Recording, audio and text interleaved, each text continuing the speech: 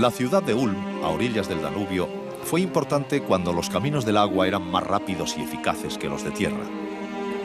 De Ulm partía la línea fluvial hacia Viena que comunicaba casi todo el Danubio superior.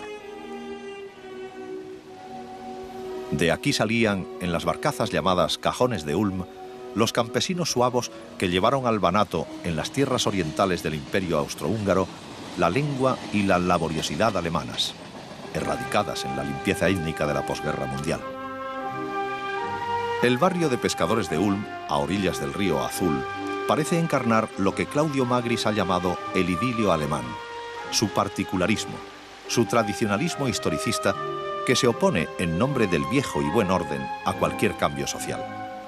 Es el mundo de Savigny, el de la legitimación histórica contra la razón niveladora, una disyuntiva trágica en sus extremos.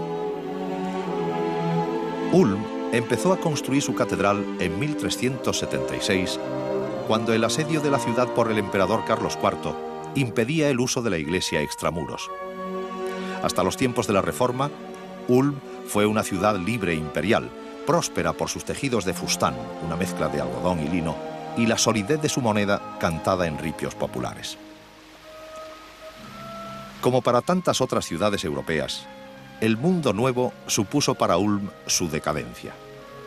Declarada en favor de la reforma por votación municipal, fue sometida por el emperador Carlos en 1546 y despojada de sus libertades estamentales.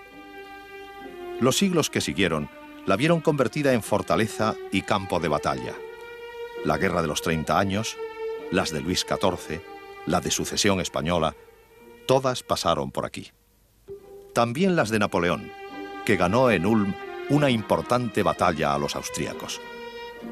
El siglo XIX supuso un cierto renacer de la ciudad, que decidió terminar su catedral dotándola de sus tres esbeltas torres.